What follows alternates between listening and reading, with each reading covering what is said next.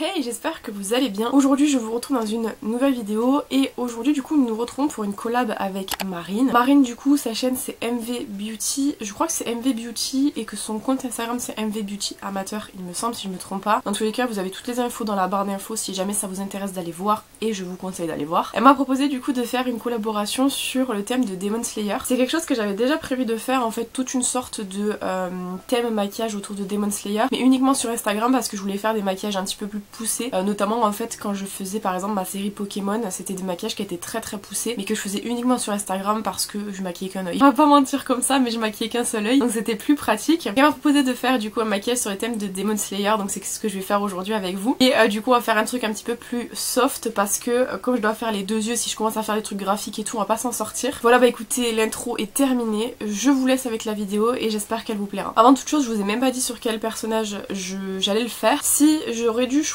mon personnage préféré, je pense que j'aurais pris Inosuke. Maintenant, c'est vrai qu'un maquillage sur Inosuke, c'est quand même assez compliqué parce que c'est un personnage qui est très euh, dessiné, il y a beaucoup beaucoup de pointes, etc. Et je trouve que pour faire un maquillage, c'est pas hyper simple. Du coup, j'ai pris un autre personnage que j'aime beaucoup, notamment par rapport à ses couleurs que je trouve hyper intéressantes à travailler en même temps. Et du coup, j'ai pris Mitsuri Kanroji, qui est un personnage que j'aime beaucoup, notamment en fait le mélange de rose et de vert, je trouve que c'est hyper intéressant. Donc c'est pour ça que je l'ai pris à elle parce que je pense qu'en termes de maquillage, euh, le plus intéressant à travailler, surtout si on veut se fier à la colorimétrie, je pense que c'est elle. Voilà, c'est pour ça que je l'ai pris. Donc on va faire un maquillage, euh, je vous préviens d'avance, ça va être quand même quelque chose qui sera pas hyper graphique. Euh, ça va être quelque chose où plus on va jouer en fait justement sur le travail des deux couleurs ensemble. Parce que après en soi, même quand je la regarde à elle, elle m'inspire pas spécialement un maquillage hyper hyper graphique. Parce que voilà, c'est un personnage, moi je trouve, qui est pas... Enfin si je devais la représenter un maquillage, je ferais pas un truc graphique. Euh, au tout départ, je voulais faire Kanao, mais je me suis dit, c'est peut-être pas la meilleure idée au monde là tout de suite, surtout si tu dois faire les deux yeux. Donc du coup, c'est pour ça que je l'ai pris à elle et c'est pour ça qu'on va faire ce maquillage aujourd'hui. Donc je vais vous zoomer un tout petit peu, puis on va passer au visage. Allez, c'est parti. Donc je vais commencer par la base. J'ai déjà fait mes soins. Je vais juste vous parler en très rapide des soins que j'utilise en ce moment. Je suis en plein test de produits Mixoon. Je vous en ai parlé du coup euh, sur Instagram. Si jamais vous ne me suivez pas sur Instagram, je vous l'affiche à l'écran. Partage des littéralement tous les jours. Donc si jamais vous voulez des infos sur des produits, etc.,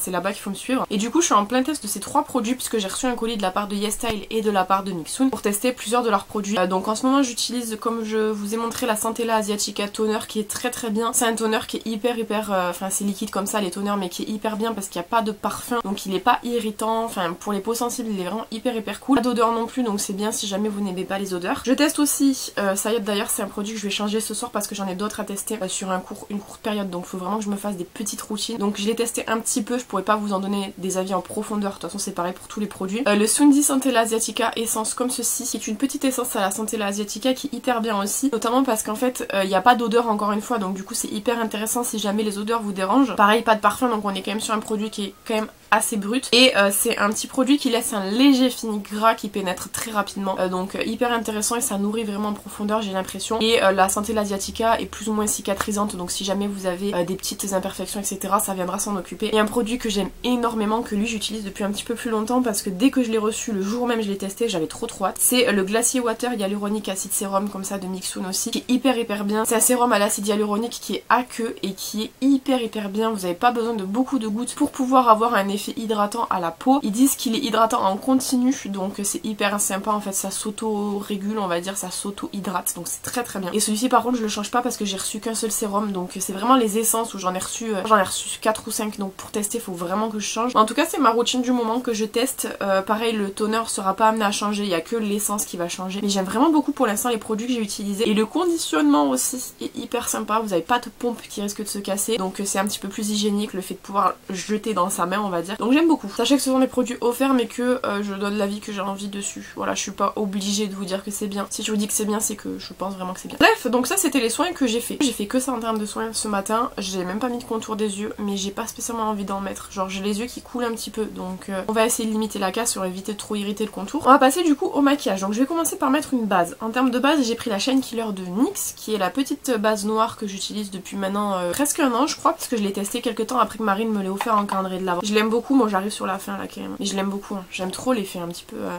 un petit peu noir comme ça sur le visage charbon et tout, j'aime bien. Pour le fond de teint aujourd'hui j'ai décidé de venir utiliser le Matte Finish Foundation en référence 121 de Max More tout seul. Je ne le mélange pas aujourd'hui parce que c'est celui que j'ai sélectionné hier et que j'avais pas spécialement envie de le mélanger donc euh, je vais le garder en naturel comme ça. On va pas avoir une couvrance optimale mais on viendra s'occuper après avec euh, l'anti-cerne de réajuster si besoin. Et j'utilise du coup des nouvelles éponges que j'ai achetées chez Action. C'était un lot avec un koala là en boîte et elles sont bien mais elles sont un petit peu dures. Moi celle que je préfère c'est celle que Marine m'a offert au Titri. Elles sont trop trop bien. Elle existe au charbon aussi mais alors la titri je l'adore. En anti-cerne du coup j'ai pris le Camouflage Plus Matte Concealer de chez Essence. C'est encore un produit que Marine m'a offert dans le calendrier de l'avant. Euh, J'avoue que je les ai sélectionnés un peu au hasard mais euh, du coup ça tombe bien. J'ai pris moi la référence parce que j'en ai deux, c'est Natural Beige. Je sais pas si c'est celui-là qu'elle m'a offert parce que euh, j'ai deux références différentes. Il y en avait une c'était Chanel qui me l'avait envoyé et une autre c'est Marine. J'ai pris la plus jaune évidemment. En vrai j'ai pris un peu au hasard, j'ai pris celle qui était devant et apparemment celle qui était devant c'était celle pour l'été. Mais c'est pas grave, ça va pas non plus se voir des masses. D'autant que euh, après en termes de poudre, j'ai une poudre qui est quand même assez blanchissante. Donc euh, c'est pas très grave. Voilà, on n'est pas sur la plus grosse couvrance du monde en termes de teint, mais ça me va, donc bah écoutez, tant mieux. Pour venir poudrer tout ça, je viens prendre mon mélange de poudre que j'ai mis dans la Cherry Licious. Je vous dis pareil, mais je trouve que avoir comme ça un mélange de poudre, c'est hyper intéressant parce que du coup, vous avez plusieurs aspects qui sont mélangés ensemble. Par exemple, moi j'ai du matifiant, j'ai du poreless, donc du coup c'est hyper cool en fait d'avoir vraiment un mélange. Moi j'ai mis dans la, dans la Licious parce que c'est le plus grand contenant euh, facile d'accès que j'ai. J'avais mis pendant un temps dans les, euh, dans les pâtes toner de Pyongyang Yul mais c'était beaucoup trop profond en fait donc à m'a énervé. Mais là comme ça dans la Shirley Shoes c'est hyper bien. Donc je viens juste retapoter mes petites ridules et je vais venir poudrer tout le teint. Je poudre beaucoup parce que j'ai le teint qui est hyper hyper gras. Euh, j'ai pas encore trouvé de solution. J'avais réussi à réguler pendant un temps mais là c'est plus du tout le cas. Donc du coup je poudre énormément.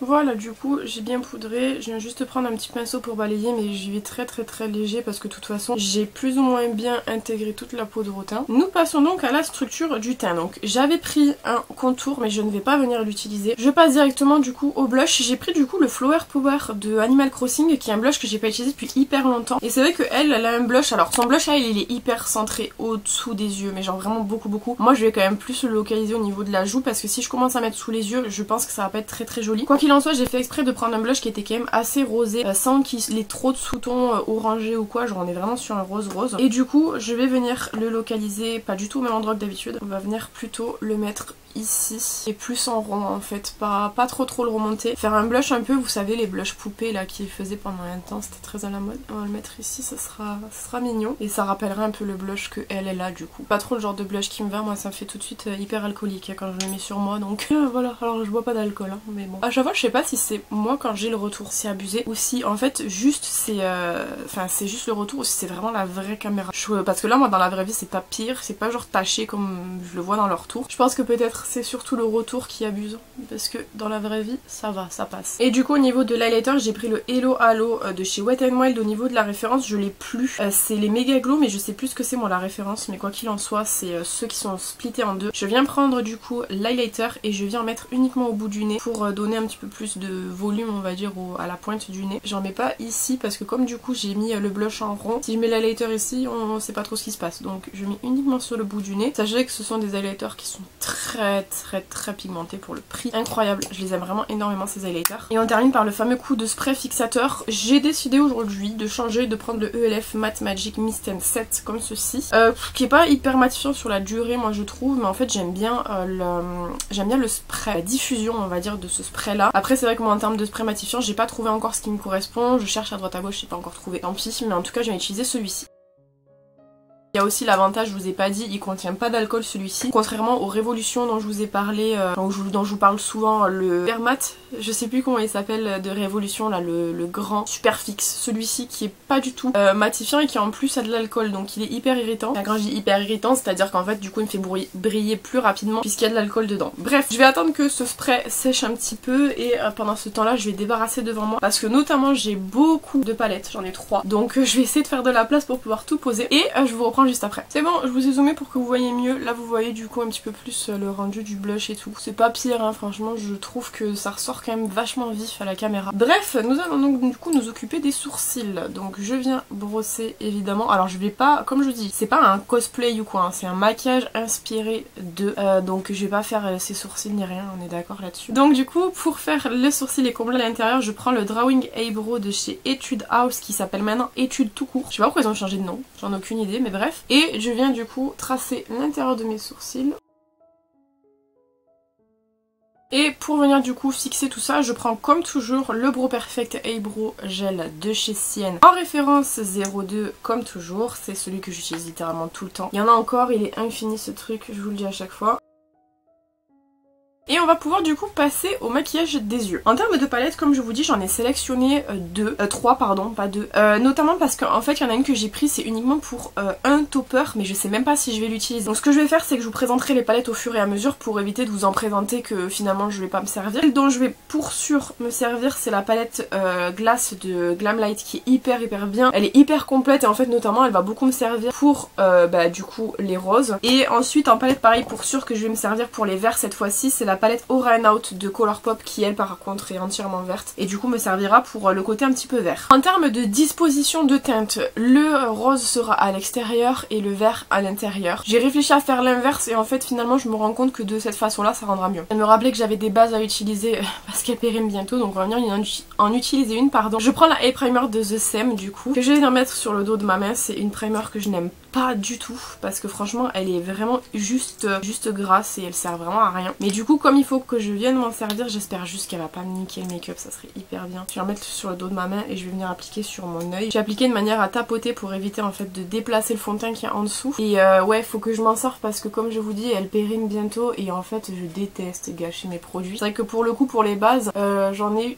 plusieurs euh, que j'ai soit moi acheté soit on me l'a envoyé. Genre par exemple celle-ci on me l'a envoyé. Vous voyez c'est ça que j'aime pas avec les bases. Le fait que ça fasse des trous alors que je tapote quand même tu vois c'est pas censé faire ça. Et ouais je déteste gâcher comme euh, celle-là c'est pas moi qui les ai euh, achetées on les a vraiment envoyées. Bah du coup je pense pas à les utiliser comme j'aime pas et Bref, vous avez compris, c'est pas grave, on va utiliser quand même. De toute façon qu'au doigt ça va un peu mieux. Du coup, je vais en remettre un petit peu aussi ici parce que je vais venir travailler du coup en creux paupière et tout, donc faut qu'il y ait de la base aussi en creux paupière. Donc on va commencer du coup à s'attaquer au rose. Donc je vais venir prendre du coup dans la palette Glamlight. Pour l'instant on reste sur la palette Glamlight. Je prends la première teinte de l'avant-dernière rangée du coup qui est notre rose qui va nous servir du coup en creux de paupière et on va venir travailler tout doucement et on va venir remonter jusqu'à la moitié je pense comme ça c'est pas mal. Du coup je vais venir juste euh, ici pour que ça soit un petit peu plus fin, dégradé sans rien. Bon je pense que je vais prendre ce pinceau, hein. c'est un pinceau que j'ai déjà dû prendre avec du fard à paupières nude. Et du coup je dégrade tout doucement pour fondre un petit peu. Je reprends le même pinceau que j'essuie du coup dans mon chiffon devant moi et je prends la teinte qui est juste en dessous qui est la teinte Bubblegum. Celle-ci elle va être un petit peu plus vibrante et du coup je vais la mettre un petit peu sur la paupière mobile. Je renettoie mon pinceau dans le chiffon devant moi et je viens reprendre du coup la première teinte qu'on est venu utiliser, la teinte Mochi qui est la teinte qui est au-dessus de Bubblegum et je dégrade.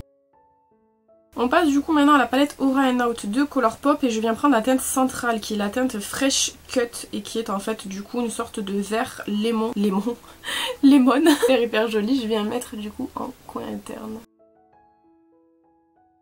Ça se dégrade plus ou moins tout seul quand même, ça crée en fait une sorte de petit jaune au milieu pour euh, le dégrader qui est pas pire que ça. Je reprends du coup juste pour venir faire le dégradé ici mon autre pinceau. J'ai un petit peu de chute mais très très peu donc hop je retire. Donc voilà ce que ça donne. Écoutez je vais quand même venir prendre du coup la palette Nomade et je viens prendre en fait la dernière teinte de la palette qui est la teinte Chaku, Chaku Chaku euh, qui est en fait du coup le topper que je voulais utiliser. Euh, c'est un topper qui est rose qui ressort un peu comme ça et je vais venir le mettre surtout principalement au centre des deux, des deux couleurs. Je pense que ça peut être sympa. Ouais, je trouve que ça fluidifie un petit peu la transition, c'est pas mal. Comme il y a les paillettes, en fait, on se fie moins au fait qu'il y ait une transition à ce moment-là. J'ai bien envie de faire un racine inférieur. À la base, j'avais dit que j'en ferais pas parce que du coup, elle a un petit point sous les yeux. Mais c'est pas grave, je le mettrai juste un peu plus bas. Je retourne à Glamlight du coup et je récupère la teinte Mochi qui est la première teinte qu'on est venu utiliser, la teinte la plus claire des deux roses. Et je vais venir du coup le mettre en ras de cils inférieur et je vais aller jusqu'à euh, à peu près ouais la moitié, un peu comme le dessus Comme il n'y a pas de base, ça marque un peu moins quand même, c'est pas grave. Et pour la partie verte, je reprends notre vert de tout à l'heure qui est le Fresh Cut de la palette de chez euh, Colourpop qui est la Aura and Out. Je viens tapoter et cette fois-ci mettre à l'intérieur. Comme il n'y a pas de base, ouais, ça marque vraiment vraiment beaucoup moins. Mais c'est pas grave, c'était manière de faire un petit peu. De toute façon, j'avais pas prévu d'en faire à la base. Je voulais pas parce que, comme je vous dis, je voulais faire un petit point. Mais c'est pas grave, ça change pas grand chose. Au niveau palette, c'est bon, je pense. Moi, je trouve qu'en tout cas, le travail des yeux est bien. Donc, je vais ranger les palettes pour prendre un petit peu moins de place devant moi. Et si jamais vous posez la question, même si je pense pas que ce soit le cas, sachez que j'ai fait un tutoriel avec chacune des palettes que je vous ai présentées juste avant. Donc, si jamais ça vous intéresse, elles sont dans l'onglet. Euh, il y en a, c'est tutoriel 2023 et d'autres, c'est dans tutoriel 2024. Je crois que même qu'il y a tutoriel 2022. Enfin bref, non, vous tapez le nom de, la palette avec mon nom juste derrière de YouTube et vous tombez dessus. On va bien s'occuper des petits points. Donc je viens prendre du coup moi un eyeliner Vice Water Activated Color de chez Barry M. Et je reprends en fait mon spray ELF. Tant qu'à faire, je vais utiliser le spray, ça m'évitera d'aller chercher de l'eau. En fait, je prends un dotting tool comme ça. Alors en termes de taille, franchement, je sais pas trop quel dotting tool prendre. Peut-être celui-ci qui est medium par rapport aux autres. Celui-ci, je pense qu'il va être trop gros, enfin quoique. Attendez, je vais faire un test pour voir. Je vais faire avec le plus gros. Je pense qu'avec le plus gros ça rendra bien. Donc c'est le vert. Donc j'ai mis de l'eau, enfin du truc dans le, spray fixateur dans le capuchon. Je viens humidifier mon pinceau. Je viens prélever à l'intérieur du High Vice comme ça. Je fais en sorte qu'il y en ait quand même bien sur tous les, les côtés. Et je vais juste... Enfin c'est peut-être un peu gros quand même. Attendez, je vais faire avec le plus petit déjà pour voir. Que j'ai un peu peur quand même. Ouais, je pense que comme ça c'est bon, j'ai bien fait de changer. On va faire pareil de l'autre côté. C'est à peu près symétrique. C'est pas hyper symétrique mais c'est à peu près symétrique. C'est déjà à peu près mieux que d'habitude. Elle a vraiment ça sous les yeux et elle je crois que c'est un petit peu plus haut même. En tout cas comme ça moi je trouve que c'est bien ça rappelle bien son sa vibe à elle. Et du coup, n'oubliez pas, vous laissez sécher euh, vos waterliners euh, ouverts, sinon ça, ça moisit, c'est pas ouf. On passe au mascara. Euh, franchement, j'essaie de finir l'ancien mascara, donc du coup c'est pour ça que j'ai pris le Feel Stronger, je crois qu'il s'appelle, il me semble, de chez Yves Rocher, comme ça, qu'on a vu en cadeau il y a vraiment longtemps. C'est un mascara j'avais voulu laisser sécher pour voir si du coup la texture me plaisait un peu plus. Donc c'est ce qu'on va voir, ça fait un moment qu'il sèche maintenant. Je recourbe avec mon recourbe-cils de chez Normal, comme d'habitude.